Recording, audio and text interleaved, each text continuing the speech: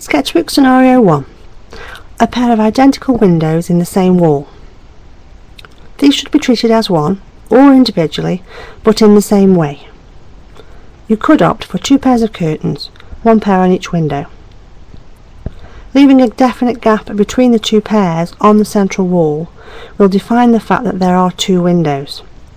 If the central space between the two windows is limited, it is quite acceptable to have the finials touching or almost touching at the pole ends to achieve maximum pole width.